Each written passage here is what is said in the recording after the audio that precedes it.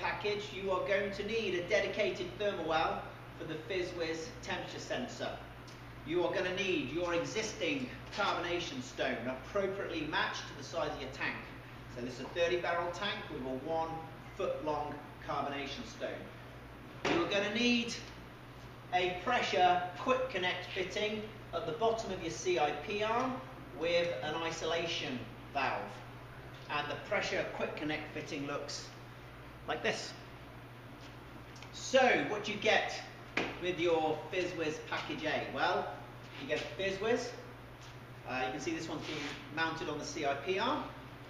And you get a wall wart plug-in power supply.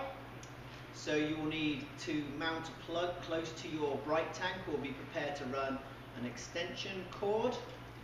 You get a temperature sensor which goes into the spare thermowell on your bright tank. You get a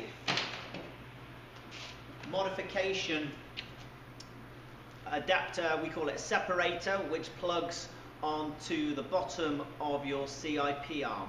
And the idea is, is this separates any condensation or beer from foaming that you might have in your arm, and it drops it into this sight glass. And at the bottom, has a little Swiffer valve, so that you can just clean this out.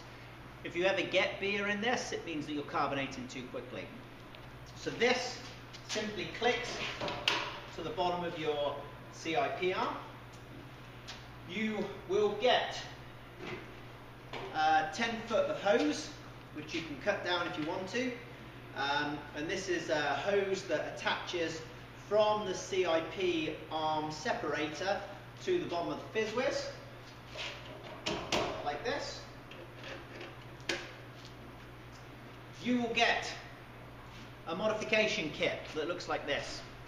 And on the modification kit, you get a MPT right angle, a check valve, an isolation valve, and a pressure quick connect. And you're going to take your existing carbonation stone and you're going to do this. So, we have one here already. It's going to look like this.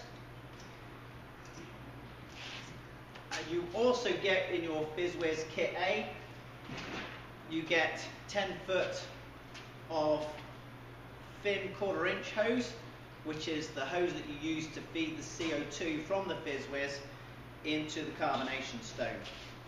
And this plugs into the bottom of the FizzWizz using a, a pneumatic push connector and it clicks onto the top of your carbonation stone. And that's it. Contact us today to learn how you can better control your carbonation.